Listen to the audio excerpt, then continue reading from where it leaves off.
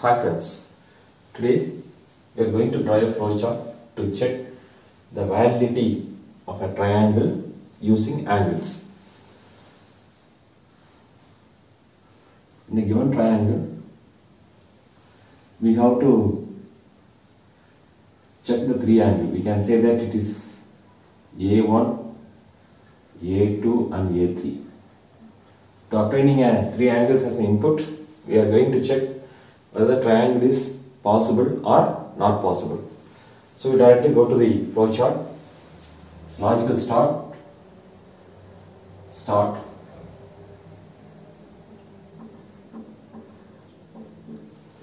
So we have to get the angles A1, A2, A3 as an input.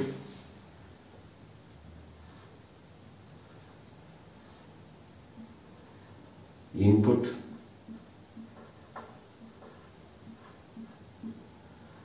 A1, A2 and A3 as an input. Now I am calculating a sum of three angles.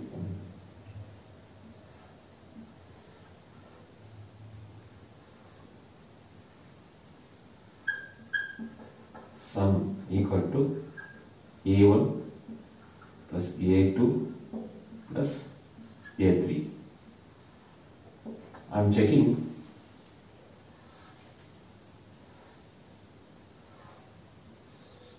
if if sum equal to 180 okay? If it is yes means so true means I can say that so true true means I can say that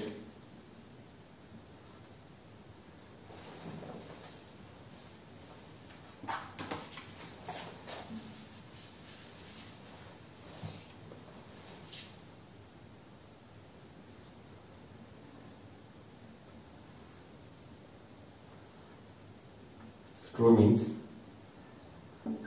I am printing print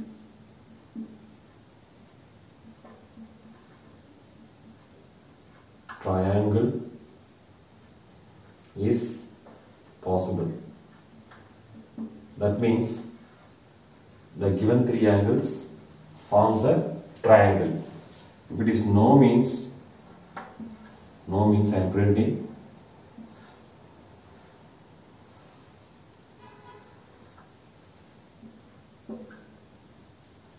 Triangle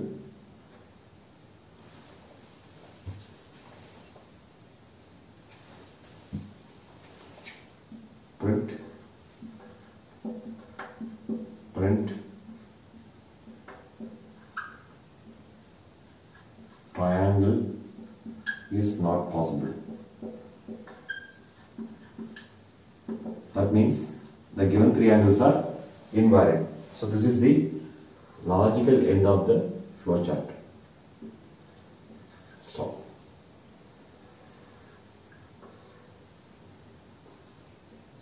That's it.